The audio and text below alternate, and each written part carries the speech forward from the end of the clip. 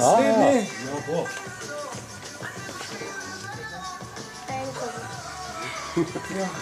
Tri. Tri, še ena vrisaka. Tri po džiru.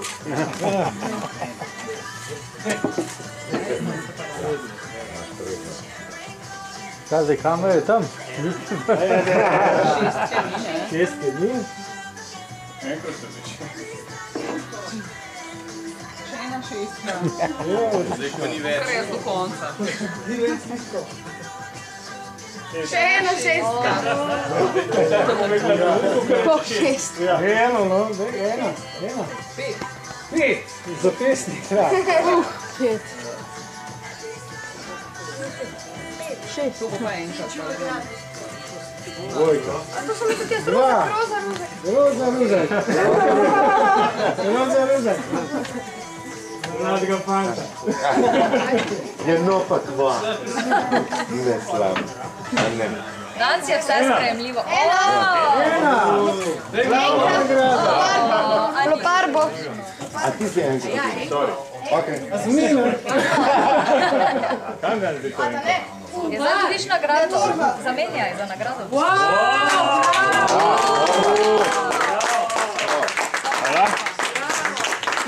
Ja, kak boš lepi. Ja, ej. A bo še ne metanje? Ne metanje mu da pa ne Zdaj še za Tanjo, ja. Ajde. Ja, da vidimo, pa bo ta, kaj bo Tanja dobila. Štiri, grip, roza. No, evo. Ja, roza, punčka. Tako je. Evo, pa še jaz. No. Punca, oran. Evo, Šest.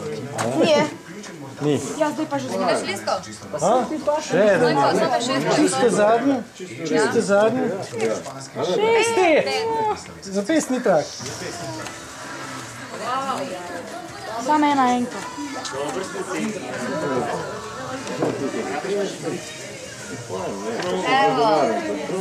Namen,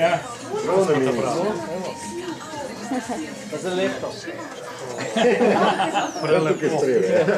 Moraš iPad, da A,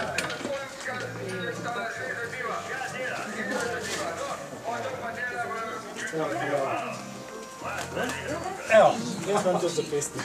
Tomaš, vse priložnosti bi se ti jaz zahvalila, ker smo bili tako dobrodošli, pa tako lepo nagrajeni na vašem turnirju in vas vabimo, ko bomo mi spet septembra ali pa oktobra enkrat jesen spet imeli, da nam vrnete obisk. Se bomo Čim ker številu. se bomo le- lahko.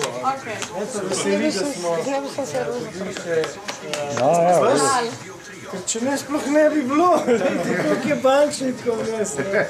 Ene pet, ena, dva, štiri, pet, šest, pa ene dva sta odšla, no, osem. Ja, Pol ja. Pol pol, ja. Tako da prav fajn, no, da smo to lahko. Uh, malo še popite, pa pojejte. Super je bilo, hvala. Hvala. Pa.